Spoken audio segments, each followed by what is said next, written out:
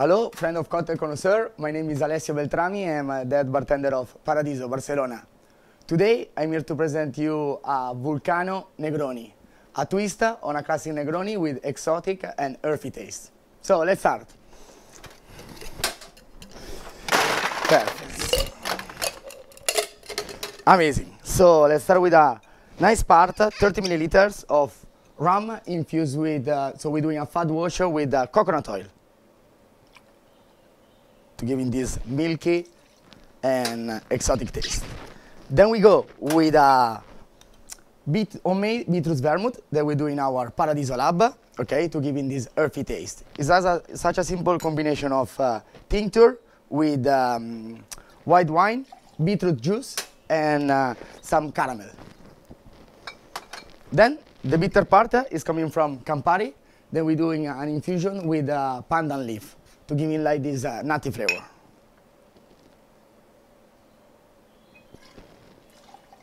Fantastic. And to combine well all the ingredients, we use a nice uh, grappa infused with uh, almond.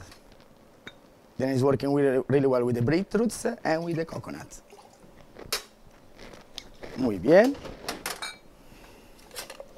So, now we're gonna make a throwing to combine and mix well all the ingredients.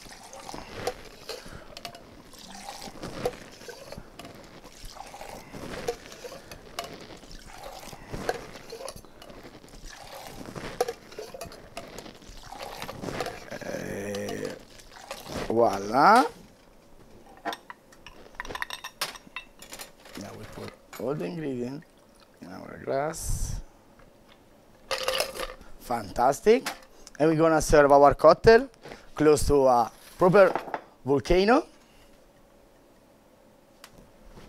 So the garnish is an edible rock of olive with some uh, black uh, truffle caviar and some fennel cress.